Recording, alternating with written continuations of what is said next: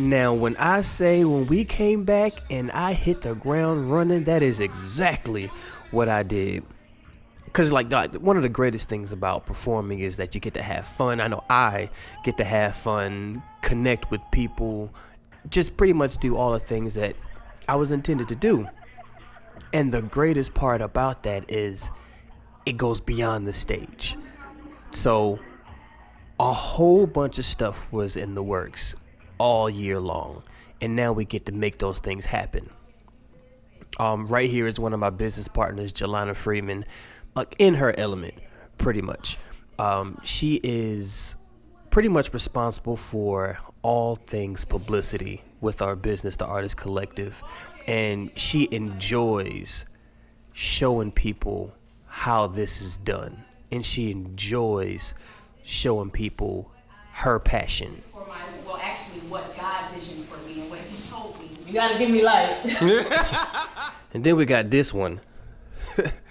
this is uh Yamale Barnett in her element as well.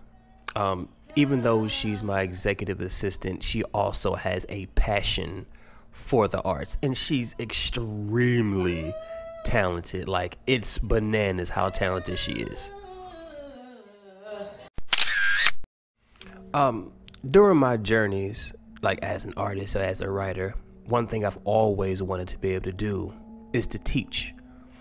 Um, I got connected with these two dynamic people uh, Rika G and AG, who have this nonprofit called Cypher, where we teach kids in the city hip hop as a life skill and also so many other technological things that aren't necessarily smiled on in our in our um, in our culture, and we teach them to students who are willing to learn and that actually want it and are hungry for it.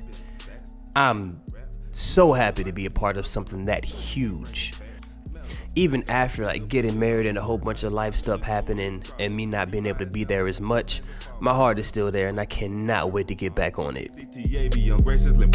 This is Cypher. One day they gon' whip them Mercedes, making a statement and constantly changing. I swear you gon' hit on the rest of the tape in just half of this year. We done took us some youngsters and molded them into some lyrical greats. We didn't force feed them knowledge, just gave them a plate every second day after four period they ate. For every question that they asked, we gave the answer to them straight. No sugar coating, no chasers, no face. Constantly asking about what So today is the Cypher official launch. It's our first fundraiser, chess based DJs. It's an all ages affair, family affair. We got kid chess with the chess coaching. We have the spades tournament, the open card tables. We have some amazing food vendors.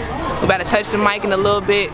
So come see what Cypher's all about. For more information, um, contact me at cypherprogram at gmail.com. That's C-Y-P-H-E-R program at gmail.com. We meet twice a month um, and it's open to all ages, so come rock with us. Vertically challenged people in the front. These are all vertically. They all vertically challenged. Oh my goodness. Cypher 2017? Cypher 2017?